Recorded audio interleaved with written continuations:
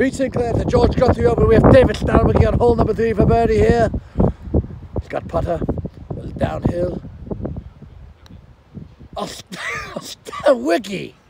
Uh, should be safe, safely in for his par here. Oh, Starwicky for his par. Starwicky, keep going forward, Starwicky, keep going forward.